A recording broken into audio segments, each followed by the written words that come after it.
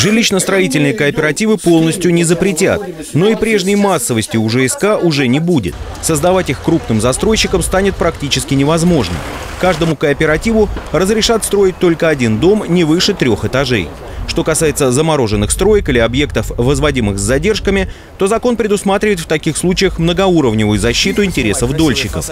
Например, 214 ФЗ включает в себя положение и о банковских гарантиях, и о страховании ответственности застройщика. Не отстает и областное законодательство. Законом Московской области от 2010 года о защите прав граждан, инвестировавших свои средства в строительство домов, э, предусмотрен такой способ защиты, обеспечения, восстановления нарушенных прав граждан, чьи денежные средства вложены в строительство многоквартирных домов, как э, признание органами самоуправления и органами исполнительной власти субъекта Российской Федерации объект строительства проблемным. Если строительные работы на объекте не ведутся в течение 9 месяцев, если задерживаются сроки передачи жилья дольщику или прекращается информационное взаимодействие с застройщиком, то это повод серьезно задуматься.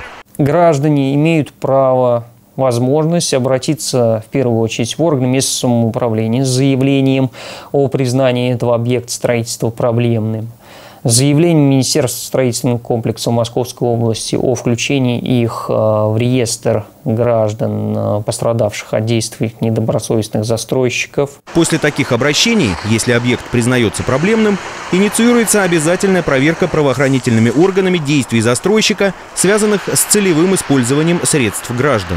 Реализация подобных процедур, она налажена контролируется органами прокуратуры, и по большей части э, строек, которые в настоящее время приостановлены, заморожены, либо сроки, по которым переносятся, хотя стройка и ведется.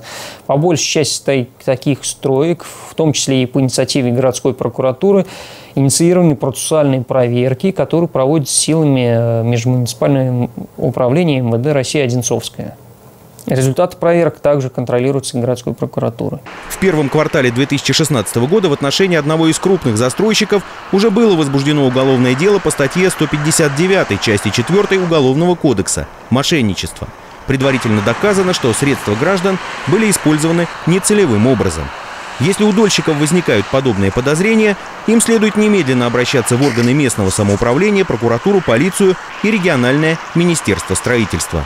Петр Горохов, Станислав Трифонов, телекомпания «Одинцова».